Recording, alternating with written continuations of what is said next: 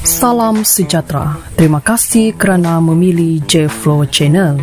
Channel ini akan menyampaikan berita terkini, gosip panas mengenai artis dalam dan luar negara. Sebelum kita mulakan, jangan lupa tekan butang subscribe untuk terus mendapatkan video terbaru selepas ini.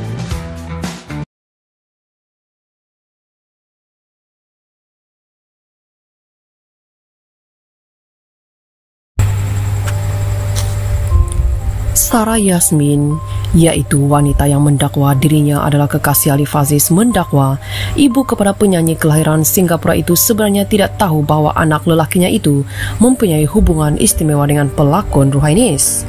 Menerusi perkongsian tersebut, Sarah Yasmin mendakwa ibu kepada Alif Aziz iaitu Siti Hafizah sebenarnya tidak tahu Alif menjalinkan hubungan dengan Ruhainis sebaliknya dia percaya bahawa aktris itu hanyalah mahu membantu anaknya itu paling menyedihkan apabila ibu awak sendiri tidak tahu kebenaran. Saya sendiri yang memberitahu dia dan keluarga awak bahawa awak dan perempuan itu mempunyai hubungan. Mak awak dibenci kerana dia mau percaya awak hanya membantu Alif. Dalam pada itu, Sarah akui tidak sanggup melihat Siti Hafizah iaitu sosok seorang ibu terpaksa menanggung kebencian dan kecaman orang ramai dek perbuatan anak lelakinya itu dan Rohainis. Kalau dia Ibu saya, saya tak sanggup tengok dia kena kecam, dibenci. Ibu adalah orang yang paling penting dalam hidup semua orang.